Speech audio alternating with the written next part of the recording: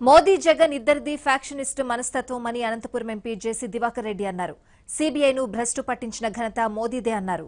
CM రమేష్ను ఇరికించాలనే సీబీఐను దుర్వినియోగం చేశారన్నారు. వచ్చే ఎన్నికల్లో టీడీపీతే గెలుపునన్నారు. జగన్ పవన్ కలిసిన చంద్రబాబును ఏం చేయలేరన్నారు. నలభై శాతం మంది ఎమ్మెల్యేలను మారిస్తే చంద్రబాబు విజయాన్ని బ్రహ్మదేవుడు కూడా ఆపలేరన్నారు. సీఎంపై కాదు ఎమ్మెల్యేలపైనే ప్రజలకు కోపముందంటున్న జేసీతో మా ప్రతినిధి Srinivas face to face. KC Reddy గారు ఎంపీ గారు అన్నారు సార్ చెప్పండి సార్. మొత్తం మీద మీరు గత కొంతకాలం నుండి సిబిఐ కానీ ఐటీ కానీ మా మీద దాడులు చేయించాలని కేంద్రం కుట్రబంతుంది మా మీద అలాంటి దాడులు జరుగుతాయి అంటున్నారు. ఇప్పుడు ఏకంగా సిబిఐ అంశం వ్యవహారంలో మొత్తంగా సీఎం రమేష్ నిరికించాలని కుట్ర జరిగిందని మొత్తం కూడా బయటకు వచ్చింది దీన్ని ఎలా చూస్తారు? నేను నిన్న మీకు ఒక మాట చెప్తా.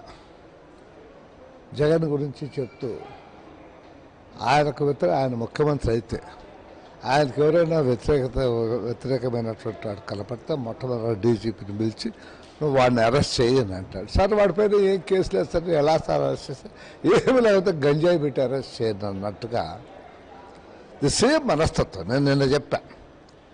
నరేంద్ర మోడీకి జగన్కు ఇద్దరు కూడా ఫ్రాక్షన్స్ట్ మైండ్. ఆ ధోరణిలో పోతున్నారు కాబట్టి ఇవాళ ఎక్కడ సిబిఐ ఎక్కడ వీడు? మావాడు Ramesh after all a small fellow స్వశక్తితో బయటకు వచ్చినటువంటి వాడు. వాడు పట్టుకొని వాడు ఏదో పార్టీలో ఉన్నాడు కాబట్టి పార్టీ తరఫున మాట్లాడటం తప్పనేటువంటి ఉద్దేశంతో ఇవాళ ఇది ఎక్కడ ఎక్కడ CBI where it is we don't know అది ఎట్లా ఉంటుందో కూడా తెలియనటువంటి పరిస్థితిలో ఉన్నటువంటి ఈ ఆంధ్రులు కూడా ఇరికించాలని ప్రయత్నం చేయటము ఇది ఒక ఫ్రాక్షనిస్ట్ మైండ్కు ఉదాహరణగా కూడా తీసుకోవచ్చు. దేశం చెడిపోయింది. బయటకేమో నేతి బీరకాయ మాదిరి ఉంటున్నారు. బయటకేమో అన్ని ఉద్బోధనలు చేస్తారు. కానీ ఇవాళ రాఫెల్ తీసుకో ముప్పై లక్షల కోట్లు ముప్పై వేల ముప్పై వేల కోట్లు చేస్తున్నటువంటి దారుణం జరిగింది. అవన్నీ ఎవరు ఇన్వెస్ట్ చేయాల్సింది? వీళ్ళే. అందుకనే తనే ప్రత్యేకంగా గుజరాత్ నుంచి తెచ్చిపెట్టుకున్నాడు. వాళ్ళే ఇవాళ వాళ్ళకు తెలుసు ముఖ్యమంత్రిగా ముఖ్యమంత్రి కాదు ప్రధానమంత్రి గారి అండ ఉందని ఇలాంటి దరిద్రం జరిగింది. అంతేకాకుండా పూర్వం ఉన్నటువంటి అధికారుల యొక్క కొడుకుల ప్రమేయం కూడా దీంట్లో ఉంది. సో దారుణం. ఇలాంటిది ఇంతవరకు ఈ దేశంలో ఎప్పుడు జరగల.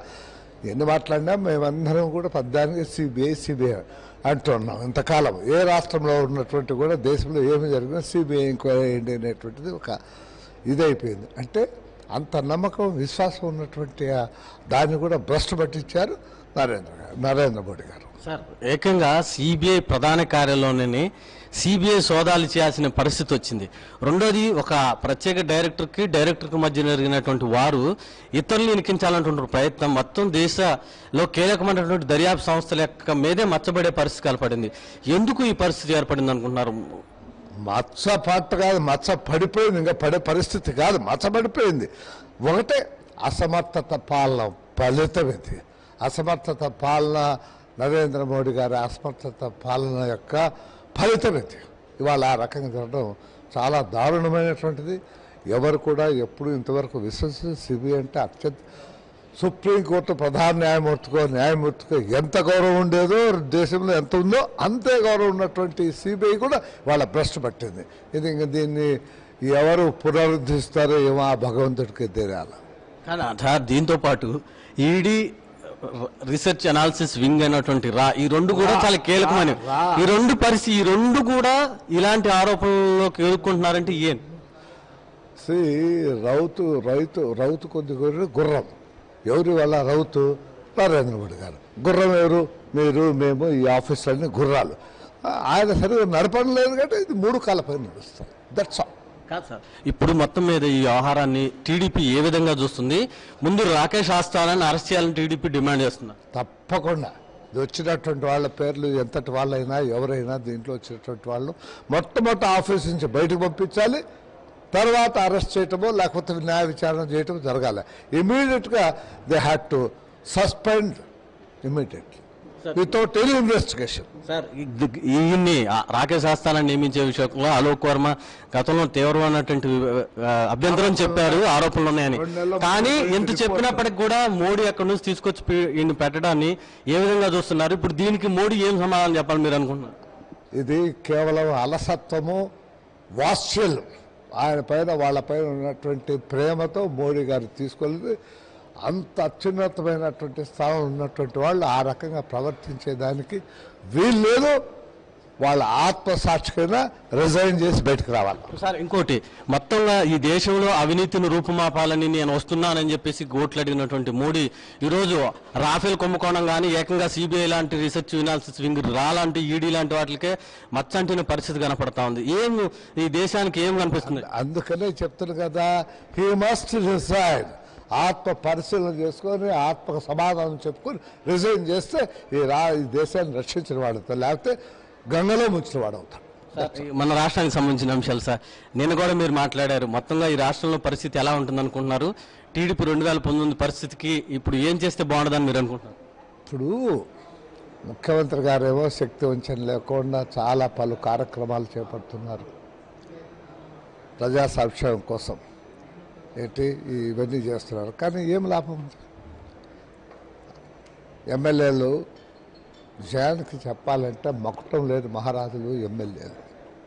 వాళ్ళ వాళ్ళ కాన్స్టిట్యున్సీలు ప్రతి ఆఫీసరు వాళ్ళ సలహా తీసుకుంటారు వాళ్ళ సలహా ప్రకారం నడుస్తారు.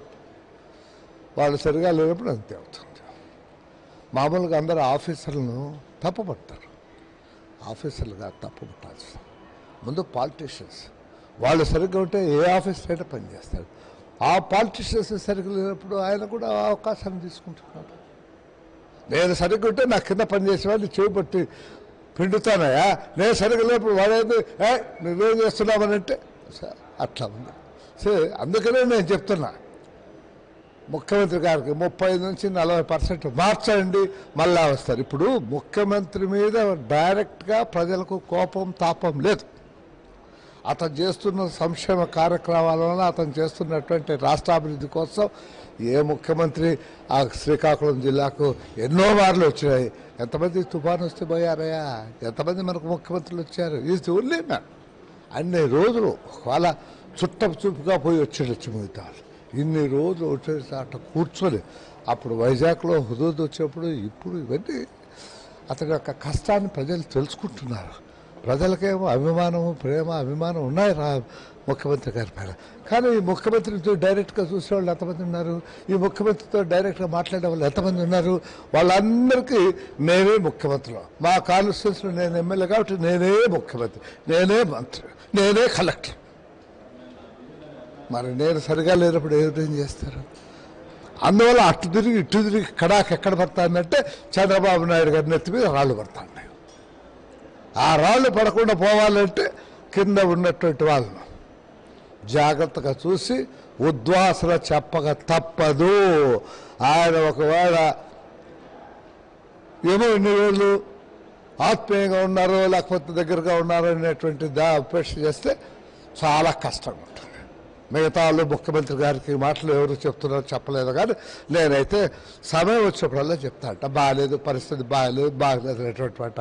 కర్మ మా కర్మ ఈ- ఈ ప్రజల యొక్క కర్మ ఒకడన్నా ఇట్లా చప్పట్లు కొట్టేవాళ్ళు అంతా ఇట్లా పోయి ముఖ్యమంత్రి దగ్గర చప్పట్లు కొడితే ఎట్లా? సార్ చివరిగా జగన్ పవన్ కలుస్తారన్నట్టు రాష్ట్రంలో ఒక ప్రచారం జరుగుతోంది. నిజంగా అలాంటి పరిస్థితి ఉందా? ఉంటే టీడీపీ పరిస్థితి ఎలా ఉంటుంది? విను.